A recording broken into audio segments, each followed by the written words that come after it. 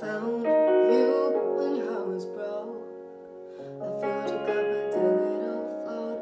Took it so far to keep you close. I was afraid to leave you on your own. I said I'd catch you if you fall, and if the laughing fucking more.